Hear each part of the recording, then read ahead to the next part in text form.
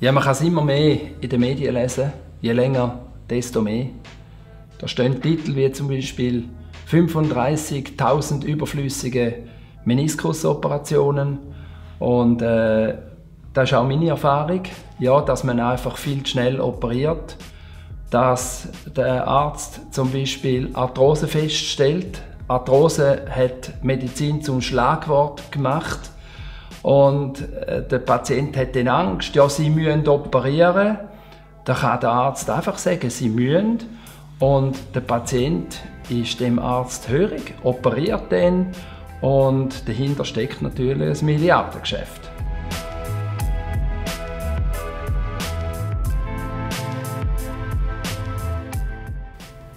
Dass Meniskusoperationen größtenteils äh, für Katz sind, das sage nicht ich. Das weiß ich zwar, aber sagen die Medien. Und es ist nicht nur überflüssig, es ist körperschädigend und äh, dort gerade schon die nächsten Operationen vorprogrammieren.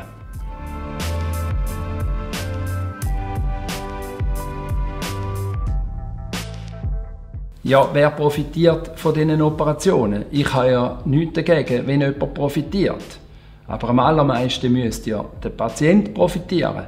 Und wenn wenigstens der Patient würde profitieren dann darf es ja auch ein Geschäft sein. In meinen Augen ist das eine völlig einseitige Sache. Es ist äh, Medizin, die profitiert und der Patient, der der grosse Verlierer ist.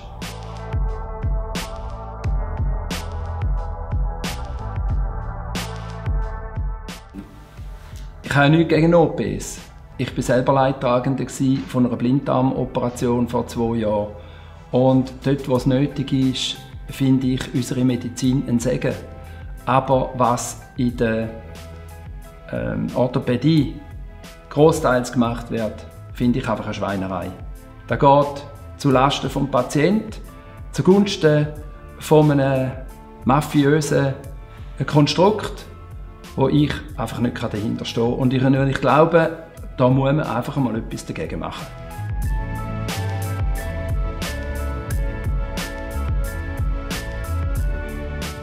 Ja, Alternativen gibt es schon seit äh, 1000 Jahren. In der chinesischen Medizin redet man von den Meridianen, in der äh, modernen Medizin heutzutage redet man von Faszien. Vorher hat man ein Bindegewebe gesagt wenn man am Bindegewebe schafft, dort wo nämlich die Verklebungen sind, dann schafft man an den Ursachen. Und das Problem ist gar nicht in der Arthrose selber, sondern es ist im Bindegewebe. Und das kann man manualtherapeutisch kann man das lösen. In den allermeisten Fällen. Es braucht fast keine Operationen an Hüfte, an Füßen, an Knie, am Rücken. Das kann man zum aller, allergrößten Teil mit Faszientherapie machen. Da sind eben nicht mehr die Ärzte zuständig, es sind nur ganz wenige Ärzte, die sich konservativ mit Faszientherapie beschäftigen.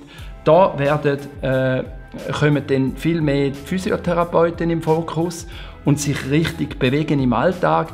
Das sind Alternativen, wo man hat zu Arthrose, wo sehr, sehr schlagkräftig sind, wo funktionieren und wo die ganzen Operationen oder der größte Teil der Operationen wird überflüssig machen.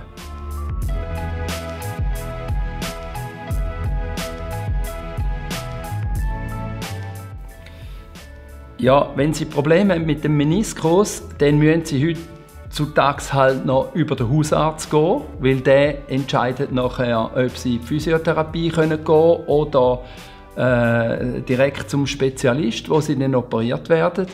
Das Problem fängt dort schon an, dass der Physiotherapeut zu wenig Kompetenzen hat.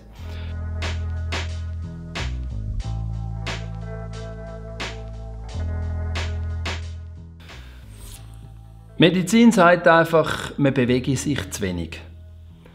Äh, das stimmt natürlich, wir bewegen uns zu wenig. Wir bewegen uns auch zu wenig in einem höheren Pulsbereich, einem moderaten Pulsbereich. Aber vor allem bewegen wir uns falsch. Wir hocken zu viel und viele Sitzen verklebt Faszien. Das löst nachher nicht nur Rückenprobleme aus, sondern Hüftprobleme, Knieprobleme.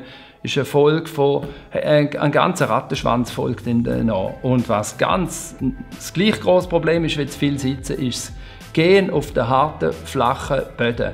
Wir sind da und vor allem die Faszien, das Bindegewebe ist eingerichtet, dass es elastisch federnd will bewegt werden. Äh, es ist nicht umsonst, dass der Mensch äh, das Trampolin am allermeisten liebt.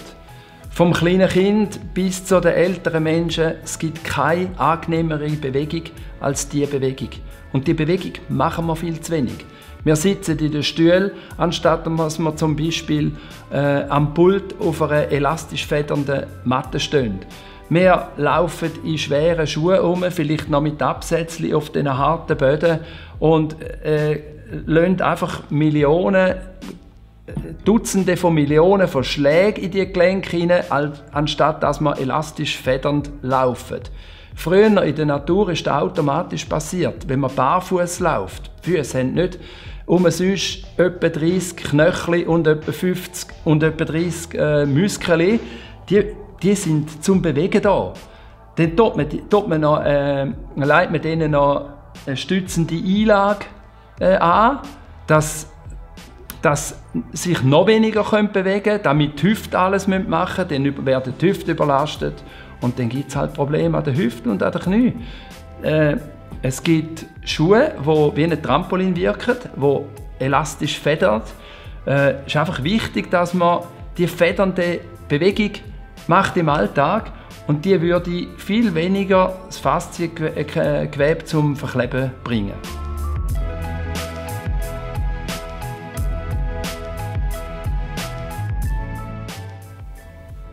Sie haben es gesagt, genau, der Fuß will mobilisiert werden, nicht stabilisiert. Stellen Sie sich vor, was würde passieren, wenn man die Hände würde, die funktionieren ja ähnlich wie, wie die Füße. Man würde die Hände stabilisieren.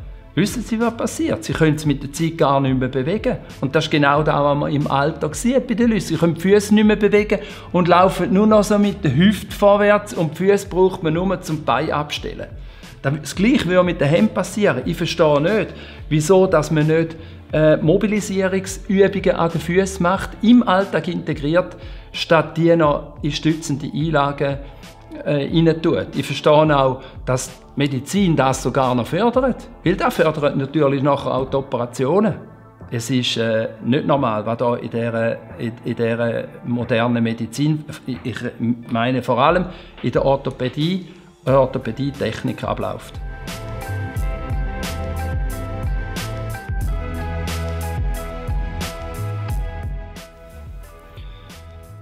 Stabilisieren tut immer Faszien verkleben und Verklebungen der Faszien erhöhen die Kräfte auf Gelenk, die Scherkräfte auf Gelenk, Druck auf Gelenk und das löst dann eben auch Schmerzen aus.